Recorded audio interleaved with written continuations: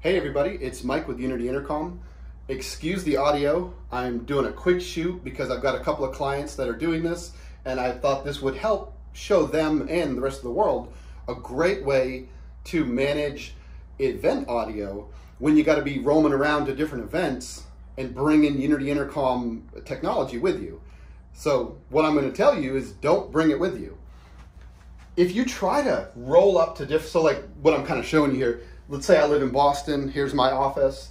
Um, we're going to be doing an event in Vegas. If we try to roll out to Vegas and bring a Mac computer with our Unity server on it, I'm going to have to hunt down the IT person and I'm going to have to ask for port forwarding because I want my guys to be able to access it on cellular data.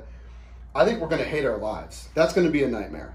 So, what we're going to do instead, we're going to leave our Unity intercom in Boston at the office, all set up. The port forwarding's been set up.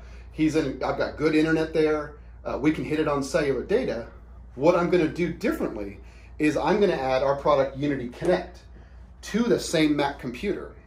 Unity Connect is going to allow me to send and receive audio from various locations. So here's what we do.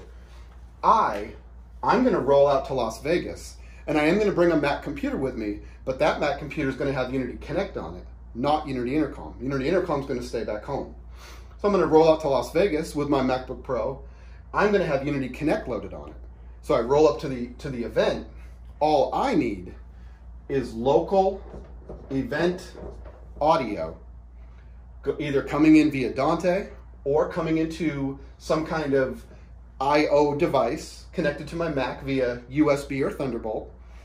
I'm going to bring those audio streams into our Unity Connect software. Unity Connect is then going to send up to 64 of those audio streams back to Boston, where at my Boston computer, I'm going to take those incoming feeds from Unity Connect and I'm going to bring them into Unity Intercom. So now, back in Vegas, we're running around with Unity Intercom, but we have we now have local program audio or even IFB audio from the local event in our COM system because I've sent it to Connect and I've injected it into Unity Intercom back in Boston so that it's now available for us wherever we are. And we can just duplicate this. So whether we leave Vegas and we fly out to London, no problem. I'm just going to bring my little Mac computer there that has Connect on it.